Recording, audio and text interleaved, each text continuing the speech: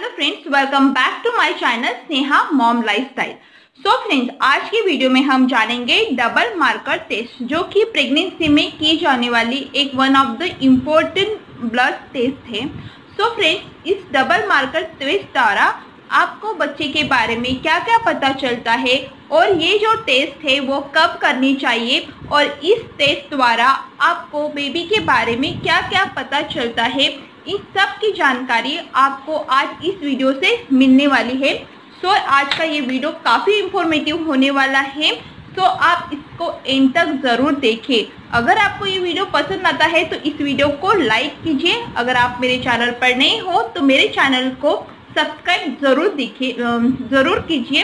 उसके लिए आप सब्सक्राइब के बटन पर क्लिक करके बेल बटन दबाना मत भूलें। सो फ्रेंड चलिए स्टार्ट करते हैं आज का ये वीडियो तो हमको सबसे पहला क्वेश्चन ये आता है कि डबल मार्कर टेस्ट क्या है क्यों की जाती है? So friends double marker test जो है वो एक computer software generated graphical test है. इस इससे हमें बच्चे में होने वाली मानसिक तथा शारीरिक विकलांगता के बारे में बहुत ही अर्ली स्टेज में मतलब फ़र्स्ट सेमिस्टर में ही पता कर, करा सकते हैं। लगा सकते हैं। जैसे कि ट्राइसोमी 21 जो कि एक डाउन सिंड्रोम का प्रकार है, और ट्राइसोमी 18 जिसे एडवर्ड सिंड्रोम भी कहा जाता है, जिसमें बच्चे का, बच्चे के अंग ठीक से विकसित नहीं होते।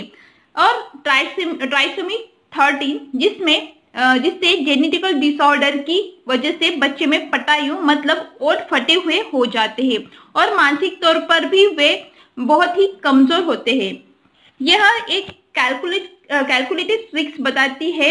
ये सब होने की बच्चे में संभावना हाई रिक्स और लो रिक्स क्या है, ये सब इस डबल मार्कर टेस्ट द्वारा हमको पता चलता है।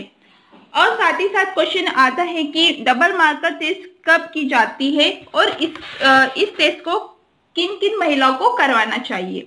सो so फ्रेंड ये टेस्ट हमको 11 टू 14 वीक के बीच में करवानी होती है। यह एक ब्लड टेस्ट है और यह टेस्ट उन महिलाओं को करना करना ज़रूरी है या करवानी चाहिए जिनकी उम्र 30 से लेकर 35 के अभाव होती है।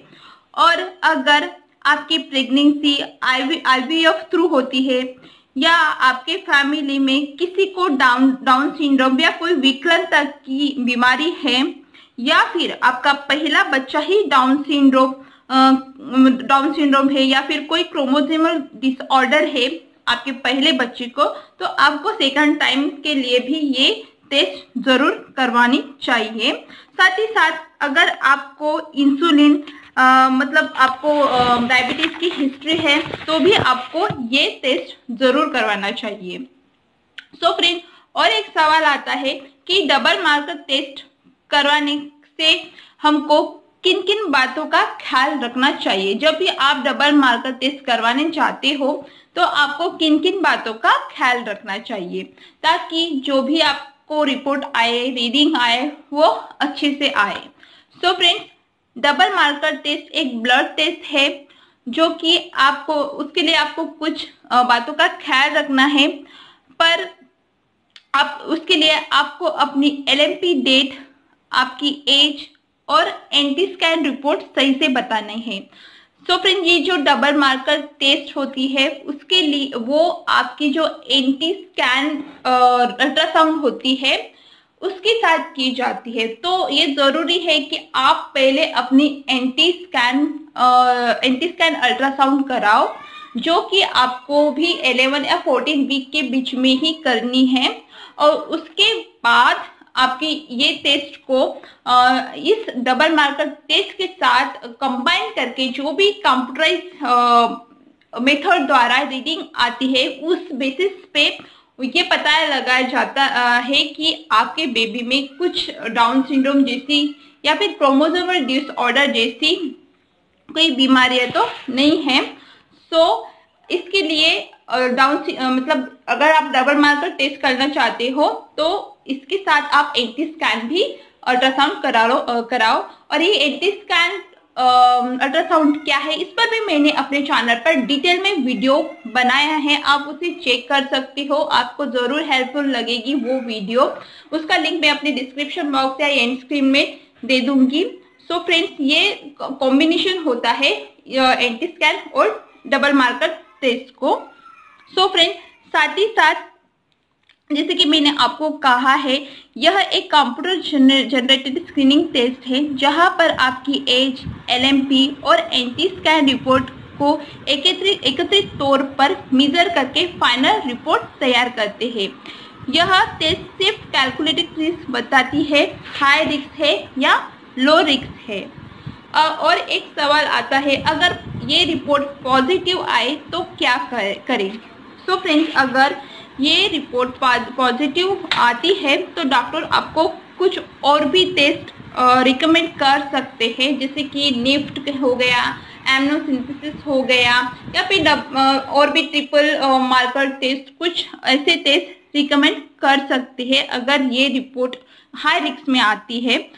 तो फिर भी फ्रेंड्स अगर टेस्ट पॉजिटिव आने का ये मतलब नहीं होता कि आपके बच्चे में हंड्रेड परसेंट कुछ कमी है अगर इस तो इसके लिए आपको ये जो टेस्ट है, थोड़े कॉस्टली होती है, पर अगर आप कर आप करते हो, जैसे नी प्रेमोसिंथिस तो आपको 100 परसेंट ये श्योरिटी हो जाएगी कि बच्चे में कोई डिसऑर्डर तो नहीं है। सो so फ्रेंड्स और एक प्रश्न आता है कि ये डबल मार्कर टेस्ट है, उसका कितना खर्च आता है? सो so फ्रेंड ये जो डबल मार्क टेस्ट है ये आपकी see to see to vary करती है पर लगभग इसका एवरेज जो कॉस्ट रहता है वो टू थाउज़ेंड तक आता है जो कि मुझे आई थी और ये एक ब्लड टेस्ट है। इस इसके मतलब ये करवाने से पहले आपको कुछ ऐसे ख्याल मतलब कोई ज़रूरी नहीं कुछ बातों का ख्याल रख जैसा खाना पीना आप कुछ भी खा के जा सकते हो। सो uh, फ्रेंड्स so ये रिपोर्ट आने में कम से कम एक वीक तो लगता है तो आप ट्राई करो कि आप जल्दी से जल्दी ये मतलब फ़र्स्ट इमेज खत्म होने से पहले ही आप ये टेस्ट करा लो 11 वीक से लेकर 40 वीक के बीच में। सो uh, फ्रेंड्स so ये तो थी डबल मार्कर टेस्ट के बारे में आज की इंफॉर्मेशन आई होप फ्रेंड्स आपको पसंद आई होगी। और साथ ही साथ मैंने अपने चैनल पर ऐसे ही बहुत सारे टेस्ट के वीडियोस अपलोड किए हैं।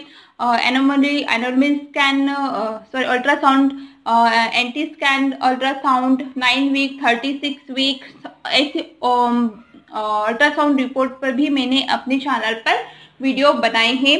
आप उसे भी देख सकते हैं। वो ज़रूर आपको हेल्पफुल लगेगी।